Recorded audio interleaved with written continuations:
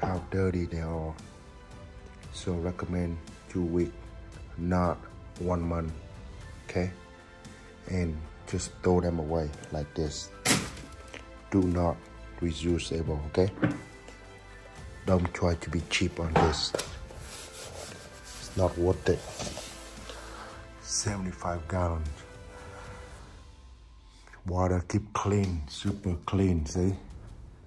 You can see through the rocks. So all you need to do, remember, once every two weeks, okay? It's the top secret I learned for myself.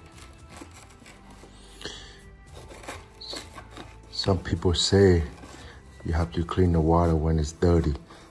Yeah, agreed, but sometimes you have a top secret. Okay, that's the first thing I tell you.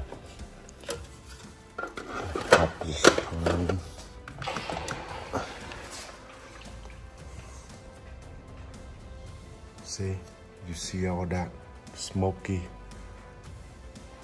black dot that came from the air filter.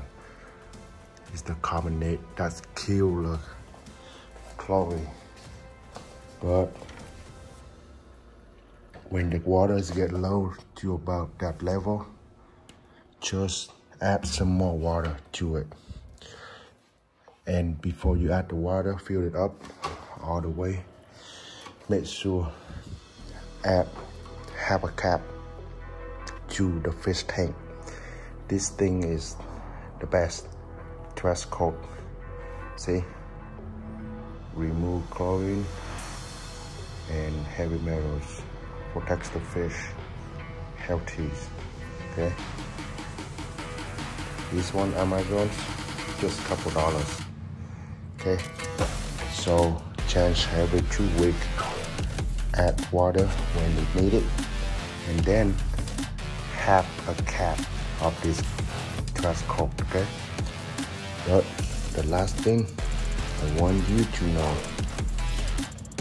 make sure grab one towel, any towel, and then wipe it up and down to ensure clean. Okay? Recommend to do this every time you see them like black dot right there see? Right there. Clean it. Wipe it up. To ensure everything is clean. Okay? In and only. Outside you just use the Windex. You don't have to use the towel. Just use the paper and Windex keep doing that